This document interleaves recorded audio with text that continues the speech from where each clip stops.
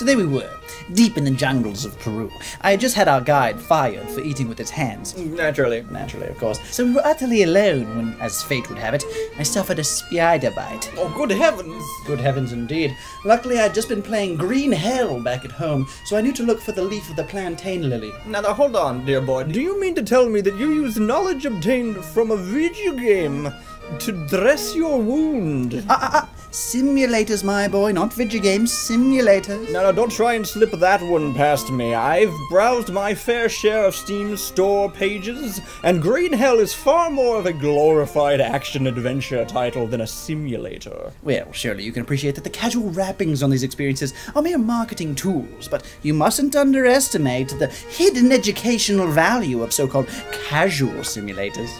Nonsense. now, of course, Surgeon Simulator may not raise one's surgical prowess, but I do believe that there are ancillary benefits that cannot be measured. No, no, I won't have it. I've seen what dross they slap the simulator title on these days. Besides, would you truly extol the virtues of that vile, cloven-hooved menace with the protruding tongue? Oh no, my boy, no, no, no. I think we can both agree that Goat Simulator is a mere masquerade of a simulator. Yes, indeed. Yes, my boy. Indeed, my yes. boy. My boy. It's nothing but an odious satire to be discarded with the other flotsam and jetsam of the Steam store now.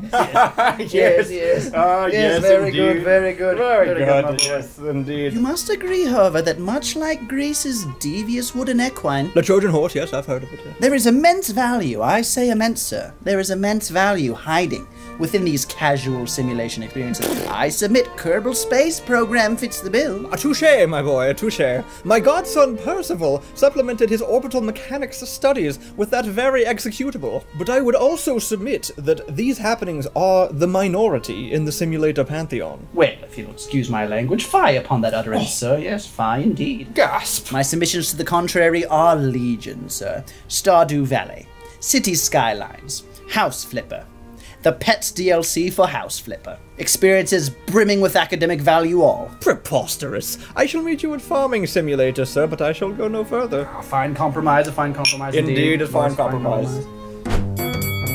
Alright, sweet guys, we're halfway to unlocking the diamond monocle. Let's go!